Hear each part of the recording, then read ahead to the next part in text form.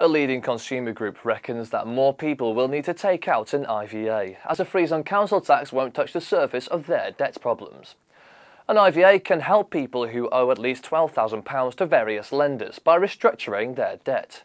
As a result of this, they'll only need to pay back as much as they can, and any debt left off over five years will be written off. Family Action has attacked George Osborne's announcement about the council tax freeze being retained, claiming that it's spitting in the wind compared to rocketing food and fuel costs, noting that the savings only amount to a loaf of bread and a pint of milk per week.